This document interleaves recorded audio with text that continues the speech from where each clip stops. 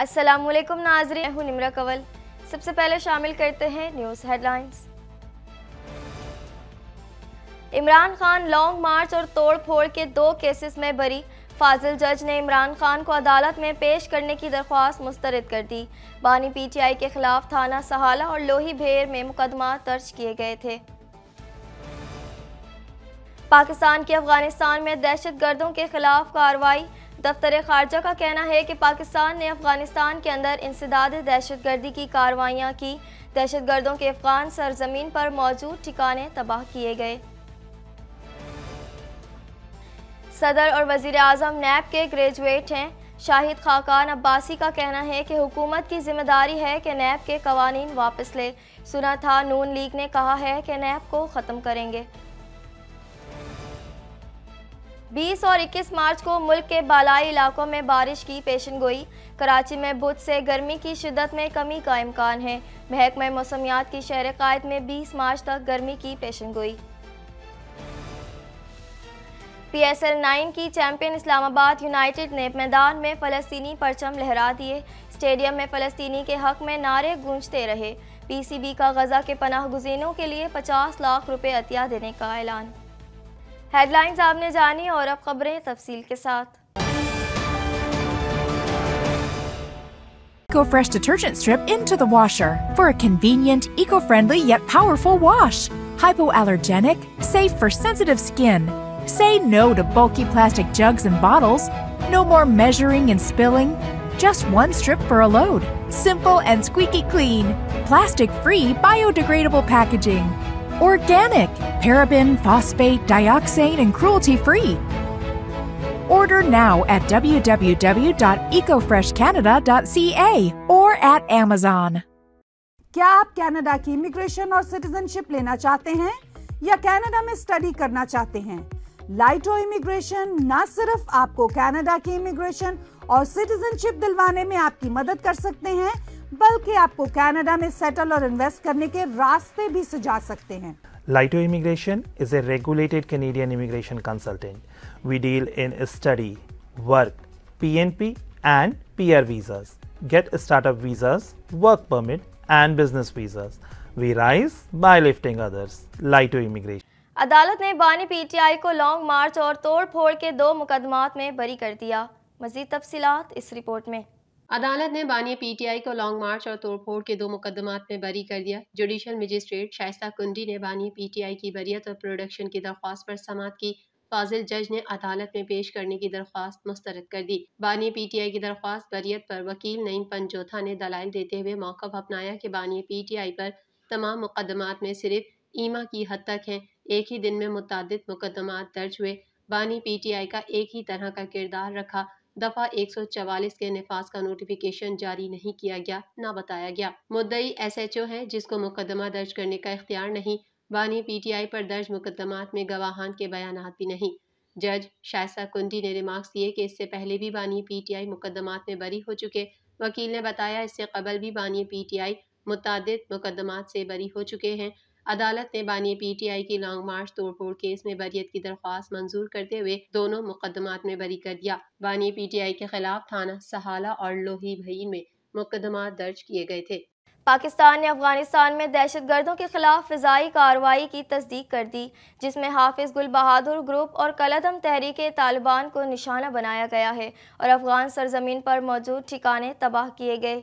मजीद अहवाल इस रिपोर्ट में। पाकिस्तान ने अफ़गानिस्तान में दहशत गर्दों के खिलाफ फिजाई कार्रवाई की तस्दीक कर दी, जिसमें हाफिज गुल, बहादुर ग्रुप और कलदम तहरीक तालिबान को निशाना बनाया गया है और अफगान सरजमीन पर मौजूद ठिकाने तबाह किए गए। दफ्तर खारजा की जानब से जारी एलामी के मुताबिक पाकिस्तान ने अफ़गानिस्तान में मौजूद दहशत गर्दों के खिलाफ खुफिया इतलात पर ऑपरेशन किया, जिसमें कलदम टी टी पी और हाफिज गुल, बहादुर के ठिकानों को निशाना बनाया गया। तर्जुमान दफ्तर खारजा ने कहा दहशत गर्द पाकिस्तानी हदूद में हमलों के लिए मुसलसल अफगान सरजमीन का इस्तेमाल करते रहे हैं। पाकिस्तान अफ़गानिस्तान के खुद मुख्तारी और इलाकाई सालमियत को इंतहाई अहमियत देता है। नेज पाकिस्तान ने दहशत गर्दी से निमटने के लिए हमेशा बातचीत और ताउन को तरजीह दी है। दफ्तर खारजा के मुताबिक पाकिस्तान ने अफ़गानिस्तान के अंदर सरहदी इलाकों में इंटेलिजेंस की बुनियाद पर फिजाई कार्रवाइयाँ की। तर्जुमान दफ्तर खारजा ने मजीद कहा कि आज की कार्रवाई का हदफ हाफिज गुल बहादुर ग्रुप से ताल्लुक रखने वाले दहशतगर्द थे। गुल बहादुर ग्रुप कलदम तहरीक तालिबान पाकिस्तान के साथ मिलकर पाकिस्तान के अंदर मुतद दहशतगर्द हमलों का जिम्मेदार है, जिसके नतीजे में सैकड़ों शहरी और कानून नाफिज करने वाले अहलकारों की शहादतें हुई हैं। शुमाली वजीरिस्तान के इलाके मीर अली की सिक्योरिटी चेक पोस्ट पर 16 मार्च को होने वाले हमले में भी हाफिज कुल बहादुर ग्रुप मुलविस हैं, जिसमें दो आला अफसरान समेत सात पाकिस्तानी फौजी शहीद हुए थे। दफ्तर खारजा के तर्जुमान ने बताया कि गुजशत दो सालों के दौरान पाकिस्तान ने मुतद बार अफ़गानिस्तान के अंदर टी टी पी समेत दहशतगर्द तंजीमों की मौजूदगी पर अबूरी अफगान हुकूमत को अपने संगीन तहफ़ात से आगाह किया। ये दहशतगर्द पाकिस्तान की सलामती के लिए शदीद खतरा हैं और पाकिस्तानी हदूद में दहशतगर्दाना हमलों के लिए मुसलसल अफगान सरजमीन का इस्तेमाल करते रहे हैं। दफ्तर खारजा ने कहा कि हमने इनसे टी टी पी को महफूज पनागाहों से इनकार करने और उसकी क्यादत पाकिस्तान के हवाले करने का भी मुतालबा किया। पाकिस्तान अफ़गानिस्तान के लोगों का बहुत एहतराम करता है। तहम अफ़गानिस्तान में इकतदार में रहने वालों में से कुछ अनासर टी टी पी की सरपरस्ती कर रहे हैं और उन्हें पाकिस्तान के खिलाफ प्रॉक्सी के तौर पर इस्तेमाल कर रहे हैं। तर्जमान दफ्तर खारजा का कहना था कि हमने दहशत गर्दी के खतरे से निमटने के लिए हमेशा बातचीत और ताउन को तरजीह दी है और अफगान हुकाम पर बारहा ज़ोर दिया कि वो इस बात को यकीनी बनाने के लिए ठोस और मौसर कार्रवाई करें कि अफगान सरजमीन पाकिस्तान के खिलाफ दहशत गर्दी के लिए इस्तेमाल ना हो पाए, मगर कोई नतज सामने नहीं आ सके। तर्जुमान दफ्तर खारजा के मुताबिक गुजशत कई दहाइयों में अफ़गानिस्तान के अवाम के लिए पाकिस्तान की तरफ़ से दी जाने वाली हिमायत को नज़रअंदाज किया है। हम इकतदार में मौजूद उन अनासर से गुजारिश करते हैं कि मासूम पाकिस्तानियों का खून बहाने वाले खुराज दहशत गर्दों का साथ देने की पॉलिसी पर नज़रसानी करें। तर्जुमान का कहना था कि पाकिस्तानी अवाम के साथ खड़े होने का वाज इंतखब करें। टी टी पी जैसे दहशत गर्द गिरोह, इलाकाई अमन और सलामती के लिए इज्तमी खतरा है। हम टी टी पी की तरफ़ से लाह खतरे से निमटने में अफगान हुकाम को दरपेश चैलेंज का बखूबी अदराक रखते हैं। इसलिए पाकिस्तान दहशत गर्दी के खिलाफ मुश्तर हल तलाश करने और किसी भी दहशतगर्द तंजीम को अफ़गानिस्तान के साथ दो तरफा ताल्लुक को सबुताज करने से रोकने के लिए काम जारी रखेगा। सबक वज़ीर अजम शाहिद खाकान अब्बासी का कहना है कि सदर और वज़ीर अजम नैब के ग्रेजुएट हैं। दोनों नैब की जेलों में लंबा अरसा गुजार चुके हैं। मजीद जानेंगे इस रिपोर्ट में। सबक वज़ीर अजम शाहिद खाकान अब्बासी का कहना है कि सदर और वज़ीर अजम नैब के ग्रेजुएट हैं। दोनों नैब की जेलों में लंबा अरसा गुजार चुके हैं। तमाम वजाय आला अगर जेल नहीं गए, लेकिन नैब में शामिल तफ्तीश हुए। हुकूमत की ज़िम्मेदारी है कि नैब के कवानीन वापस ले। इस्लामाबाद की एहतसाब अदालत के बाहर मीडिया से गुफ्तु करते हुए उन्होंने कहा कि नैब का तमाशा ख़त्म होना चाहिए। मुल्क का कोई अफसर काम करने को तैयार नहीं, उसे नैब का खौफ है। सुना था नून लीग ने कहा है कि नैब को ख़त्म करेंगे। उनका कहना है कि मेरा पाँचवा साल नैब अदालतों में शुरू हो गया। पहले नौ साल लगे थे, अभी तो पाँच साल लगे हैं। शाहिद खाकान अब्बासी ने यह भी कहा कि मरियम नवाज़ की पंजाब की वजारत आला के दौर पर कुछ नहीं कहना चाहता। सबक वज़ीर अजम ने कहा कि जैसे नैब केसेस बने, वैसे ख़त्म भी हो सकते हैं। नैब का इदारा तो बना, लेकिन आवाम को इसका फ़ायदा कुछ न हुआ। बदकिस्मती से हुकूमत आवाम को बताती नहीं कि महँगाई होती क्यों है। दूसरी जानब इस्लामाबाद की एहतसाब अदालत ने सबक वजी अजम शाहिद खाकान अब्बासी के खिलाफ एल एन जी रेफरेंस पर समात मुलतवी कर दी। दौरान समाज शाहिद खाकान अब्बासी और नैब प्रोसिक्यूटर उस्मान मसूद एहतसाब अदालत में पेश हुए। नैब प्रोसिक्यूटर उस्मान मसूद ने अदालत को बताया कि एल एन जी रेफरेंस में ग्यारह बयान कलम बंद हो चुके हैं। जरा जारी थी। केस जारी था तो सुप्रीम कोर्ट की तरमीम आ गई थी। इस मौके पर वकील सफ़ाई की जानब से समात बगैर कार्रवाई के मुलतवी करने की इस्तः की गई। एहतसाब अदालत ने इस्तः मंजूर करते हुए एल एन जी रेफरेंस पर समात तेईस अप्रैल तक मुलतवी कर दी। महकमा मौसमियात ने माह रमज़ान में एक मरतबा फिर बारिश की पेशन गोई कर दी है। खैबर पख्तूनख्वा के बलाई अजला में इक्कीस और बाईस मार्च को हल्की बारिश मुतव है। मजीद तफसीत इस रिपोर्ट में।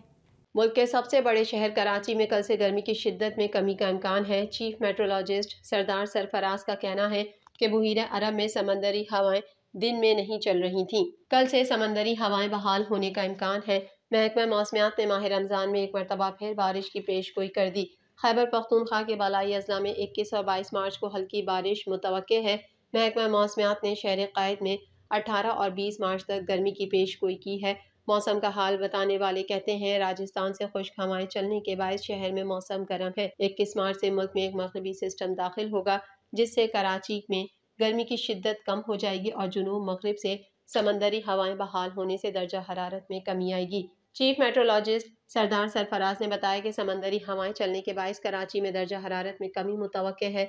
कल से दर्जा हरारत बत्तीस से तैंतीस डिग्री सेंटीग्रेड तक रहने और मतला जजवी अबर आलूद रहने का इम्कान है। दूसरी जाने महकमा मौसमियात का कहना है कि कराची में आइंदा चौबीस घंटों के दौरान मौसम खुश्क और गर्म रहने का इम्कान है। महकमा मौसमियात के मुताबिक कराची में मगरब के सिम से चलने वाली हवाओं की रफ्तार चार किलोमीटर फ़ी घंटा है जिनमें नमी का तनासब इकसठ फ़ीसद है। पाकिस्तान सुपर लीग नाइन की चैंपियन इस्लामाबाद यूनाइटेड ने जीत के बाद मैदान में फ़लस्तीनी परचम लहराकर शायकीन क्रिकेट के दिल जीत लिए। मजीद अहवाल इस रिपोर्ट में। पाकिस्तान सुपर लीग नौ की चैंपियन इस्लामाबाद यूनाइटेड ने जीत के बाद मैदान में फ़लस्तीनी परचम लहराकर शायकीन क्रिकेट के दिल जीत लिए। जीत के बाद फाते टीम के खिलाड़ियों ने फ़लस्तीनी परचम पहनकर पूरे मैदान का चक्कर लगाया। इस मौके पर स्टेडियम में फ़लस्तीन के हक में नारे गूंजते रहे। जीत के बाद इस्लामाबाद यूनाइटेड के कप्तान शादाब खान ने कहा कि फ़लस्तीन का झंडा लहराना हम सब का फैसला था और मैं ज़ाती तौर पर यही चाहता हूँ कि आज की फतह फ़लस्तीन के नाम करूँ। मीडिया रिपोर्ट के मुताबिक पी एस एल नाइन का टाइटल जीतने के बाद इस्लामाबाद यूनाइटेड के खिलाड़ी मजलूम फ़लस्तीनी भाइयों को ना भूले और नेशनल स्टेडियम में फ़लस्तीन के परचम लहरा दिए, जिसने शायकीन क्रिकेट के दिल जीत लिए। पीसीबी ने भी ज़बरदस्त इकदाम करते हुए फ़ाइनल तकरीब में गजा के पनह गुजीनों के लिए पचास लाख रुपए अतिया देने का ऐलान किया। वाजे रहे कि नेशनल स्टेडियम में खेले गए पी एस एल नाइन के फाइनल में इस्लामाबाद यूनाइटेड ने मुल्तान सुल्तान को दो विकेटों से शिकस्त देकर तीसरी बार पी एस एल की फतह का ताज अपने सर पर सजाया। फ़िलहाल इतना ही। अपनी मेज़बान निम्र कंवल को दीजिए इजाज़त। अल्लाह हाफिज़।